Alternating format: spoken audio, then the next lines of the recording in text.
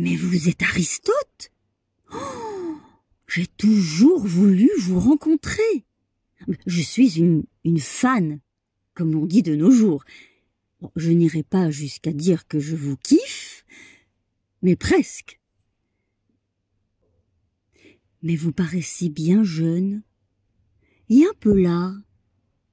J'avais un souvenir de vous plus âgé et dynamique, quand au quatrième siècle avant Jésus-Christ, vous profériez vos discours philosophiques sur la politique, la rhétorique, l'éthique, la biologie, la métaphysique. Bref, il faut absolument que je remercie Charles de Georges, qui vous a sculpté, de m'avoir ménagé cette entrevue avec vous.